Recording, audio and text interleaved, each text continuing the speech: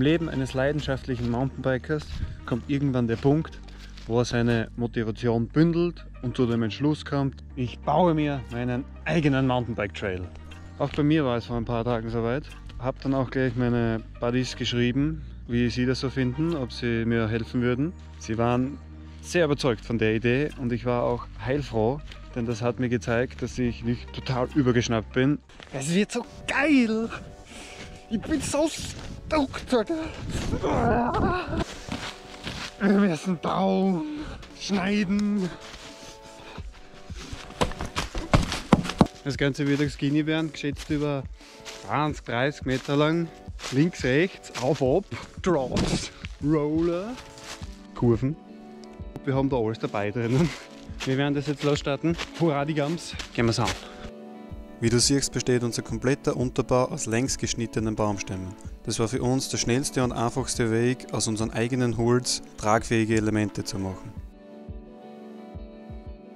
Also ich muss sagen, das zum Ausschneiden war einfacher als erwartet. Zuerst einen leichten Schnitt als Markierung setzen, danach ein-, zweimal stärker nachschneiden, dann durchschneiden, bis der Stamm auseinanderfällt.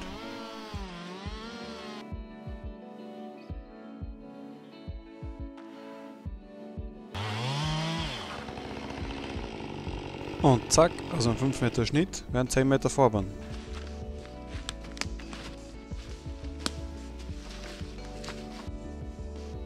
Ganz klar, wer neben einem Baumstamm oder einem Baumstumpf ein Loch grabt, wird auf Herausforderungen stoßen.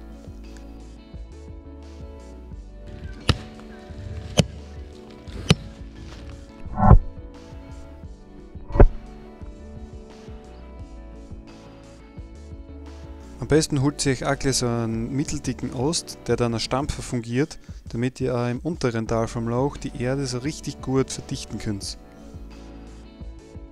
Das Ganze gibt es natürlich auch in Original, in einer Metallausführung, aber Zeug erfüllt es gleichen.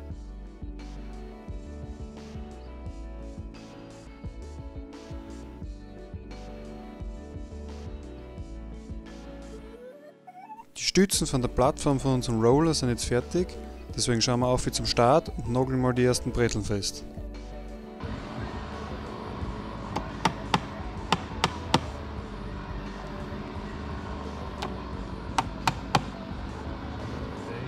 Tja, im Nachhinein hat sich dann herausgestellt, dass das Nageln doch nicht die beste Idee war. Es ist alles recht schnell, recht locker geworden. Deswegen gönnt euch die paar Euro mehr und verschraubt es.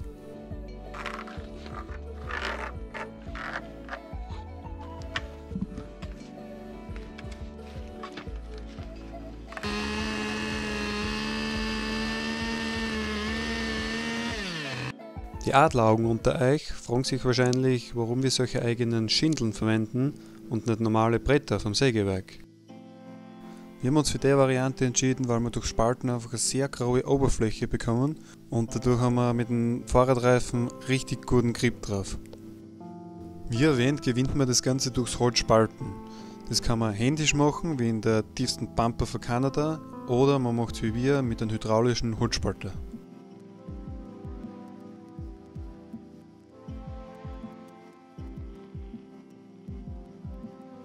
Nachdem das ja skinny werden soll, werden wir jetzt mit den Schindeln aufhören und auf die nächsten paar Meter wird die Fahrbahnbreite so bleiben. Nur mal die Anfahrt ein bisschen säubern und dann können wir die ersten Testrides machen.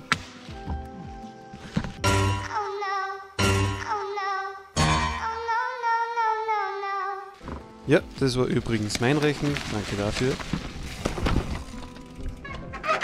Solche Testfahrten machen wir nicht nur zum Spaß. Bei neuen Trails weiß niemand so genau, wie es funktioniert, ob es funktioniert, ob das überhaupt fahrbar ist.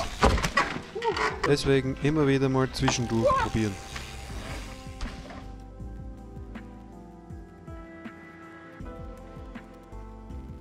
Unser Ziel ist es ganz lässig runterzurollen, ohne das Hinterrad versetzen zu müssen.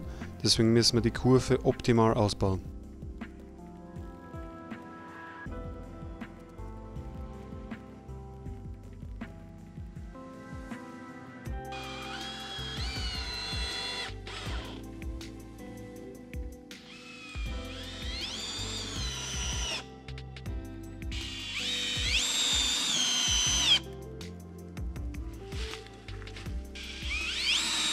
Thanks for watching, danke fürs Zuschauen. Wenn es euch gefallen hat, lasst einen Daumen nach oben da und ich hoffe, wir sehen uns wieder im zweiten Teil, wenn es weitergeht.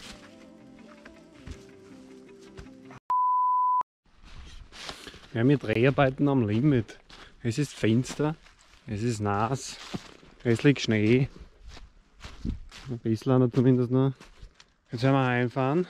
Ich hoffe, wir kommen heim. Wir sind recht tief in der für das, dass wir eineinhalb Meter gefahren sind. Dann gehen wir unseren Kakao und dann geht's weiter.